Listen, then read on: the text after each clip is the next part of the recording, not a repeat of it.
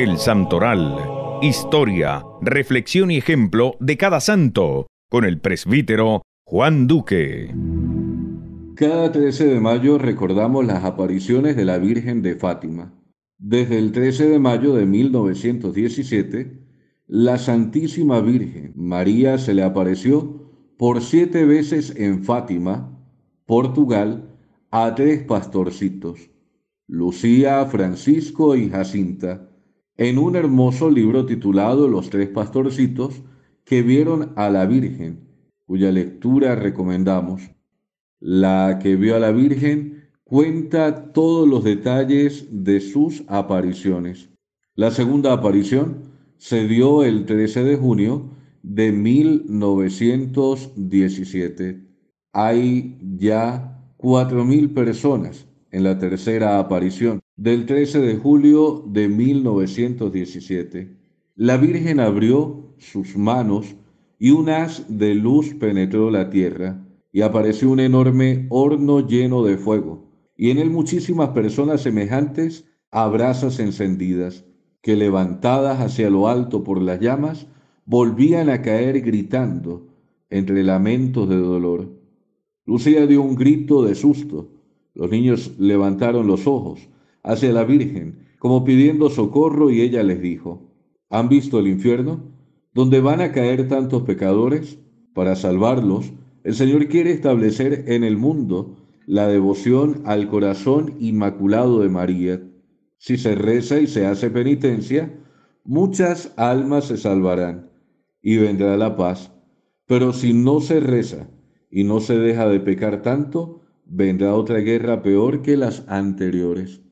Y añadió Nuestra Señora, cuando recen el rosario, después de cada misterio digan, oh Jesús, perdona nuestros pecados, líbranos del fuego del infierno, y lleva al cielo a todas las almas, especialmente a las más necesitadas de su infinita misericordia.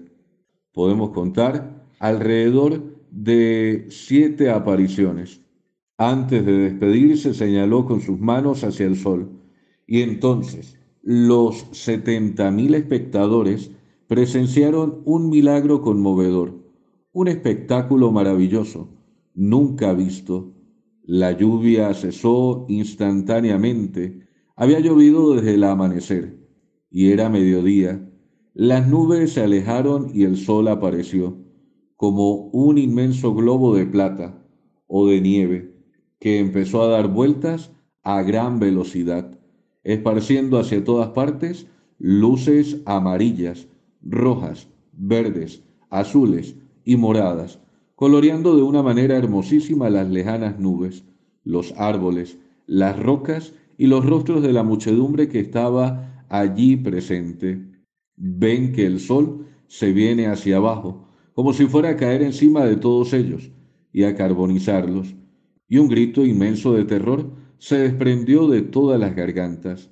Perdón, Señor, perdón.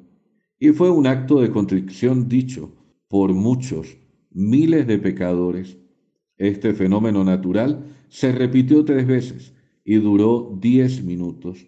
No fue registrado por ningún observatorio astronómico, porque era un milagro absolutamente sobrenatural. Luego el sol se volvió a su sitio y los miles de peregrinos que tenían sus ropas totalmente empapadas por tanta lluvia quedaron como vestidos instantáneamente secos. Aquel día se produjeron maravillosos milagros de sanación.